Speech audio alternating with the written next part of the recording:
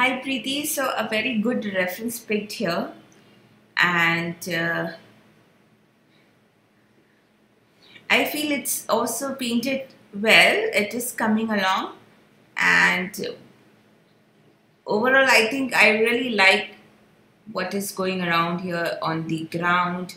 Lady the shadow shape it's working for me. Here the background is also working.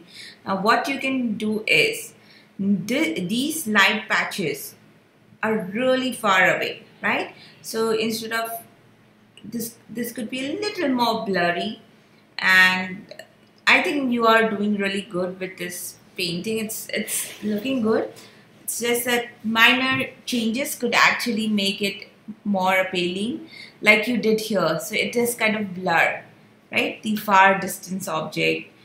So similarly, if this could be also a little blur, especially this top light, it would have been great. Rest, I think it's a very good painting. Good job.